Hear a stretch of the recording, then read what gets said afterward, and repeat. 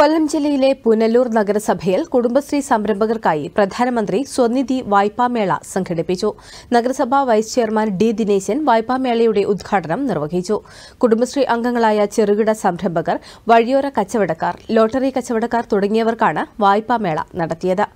വായ്പ ലഭ്യമാകുന്നവർക്ക് ആദ്യ ഗഡുവായി പതിനായിരം രൂപയും കൃത്യമായി തിരിച്ചടക്കുന്നവർക്ക് രണ്ടാം ഗഡുവായി ഇരുപതിനായിരം രൂപയും മൂന്നാം ഗഡുവായി അൻപതിനായിരം രൂപയും ലോൺ ലഭ്യമാകും.